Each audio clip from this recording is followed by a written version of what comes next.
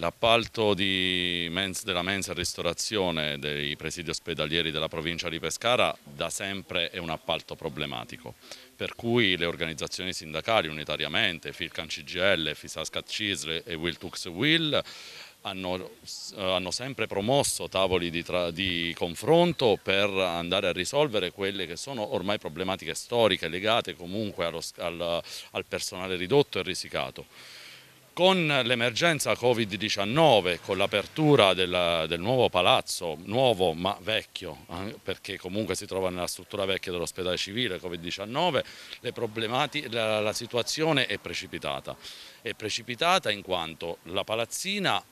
per, per, quanto ci riferiscono gli stessi addetti che, pre, che prestano servizio, non, non, è adatta comunque a garantire gli standard di sicurezza legati alla, alla criticità del, um, dell'epidemia.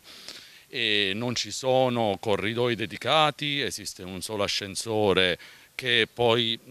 molto spesso si blocca delle problematiche, loro sono costretti ad utilizzare dei montacarichi di cui non abbiamo contezza della corretta sanificazione, ci sono diversi problemi. Per di più non è stato implementato il servizio,